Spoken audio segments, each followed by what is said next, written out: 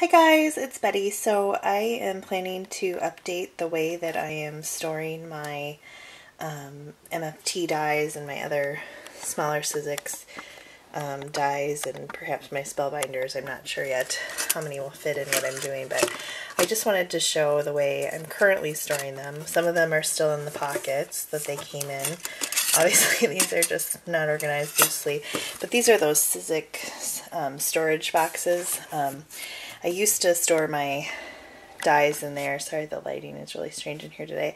Um, I used to style, store like my big dies and um, just the regular dies in this storage. It comes with kind of some separators here at the bottom that you know fit those dies.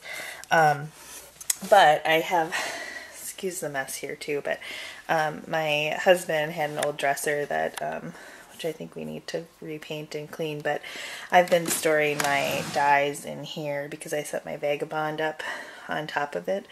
Um, and so that's where I've been putting them. It's just been working out better for me because I didn't have enough of these boxes anyway. And these boxes, I, were, I was going to put them in the dresser drawer and still store my dies in them, but they were too tall. So ended up setting them on this bookshelf close by and um, you know have some of them just loosely stored. And then others I had gotten these on clearance these um, QuicKutz like magnetic magnetic magnetic sheets. And um, I was using that which I kind of liked but they're you know they're not real sturdy.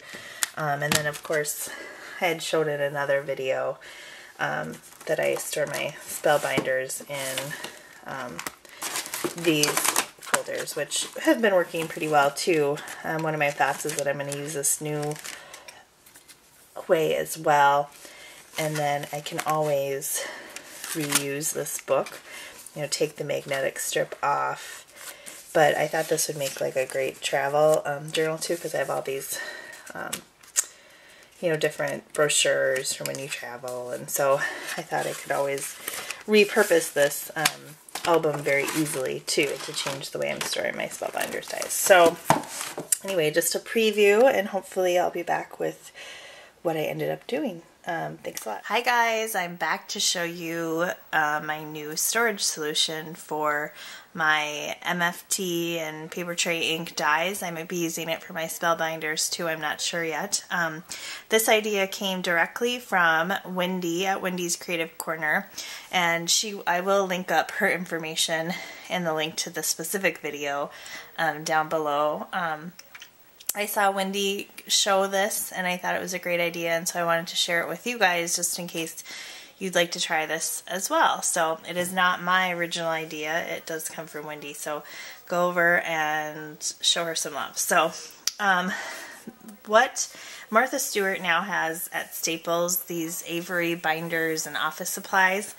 And, um, and they come with, um, you can the binder is probably like I ordered the smaller one. I think it's um, I don't know the exact size, but um, it is the sheets that fit in here are about five and a half by um, eight and a half, and so um, that's the size. She does have the regular eight and a half by eleven binders, but I chose the smaller size. And then you can purchase all the inserts are separate. So the binder is around $9.99 US.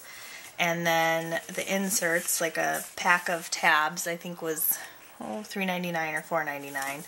And then there's a pack of inserts. Um, and what I did, and this is what Wendy had done too, so I took this idea from her, was I inserted like some recollections cardstock.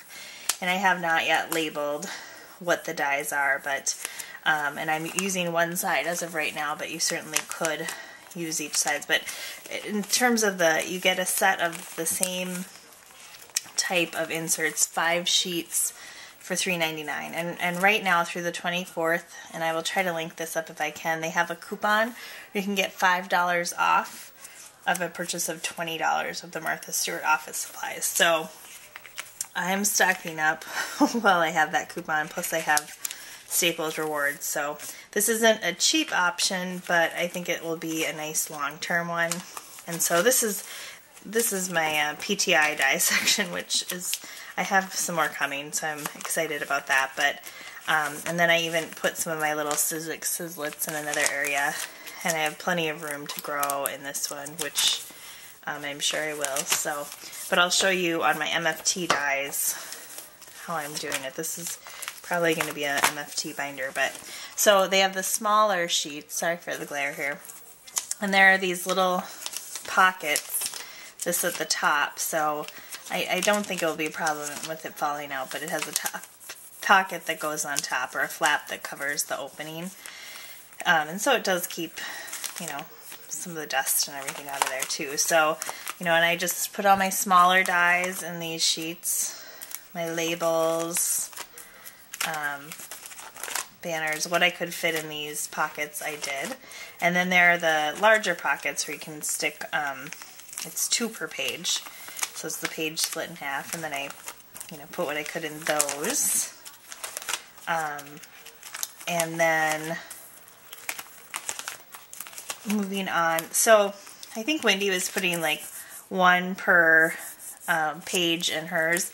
I had this QuicKutz magnetic sheet and it was maybe 12 by, oh, I'm not even sure what the measurement is. I can, they just come in like a pack of six. I got them on clearance, and that's what I was using to store them that you saw earlier in the video.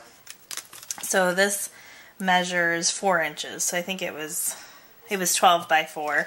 And I just cut them down into four by four sheets, and then I can stick three of the, you know, I put the fence or the border dies in here and it holds them in place so they're not flapping around and and going on one another either. So I kind of like that.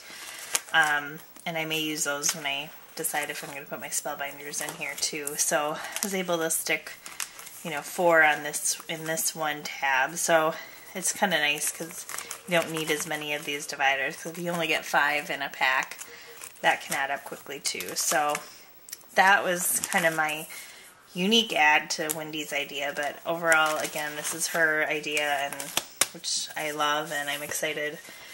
Plus the binders are just pretty and um, I'm hoping they'll be sturdy. One thing I did notice at the store, a lot of these in this color get real marked up, so as you're picking yours up, just be careful. There's, I mean, you probably wipe, them off, but um, a lot of them were dirty. so um, again, I'll try to link that coupon below and I'll link to um, Wendy's video. Thanks guys. Bye.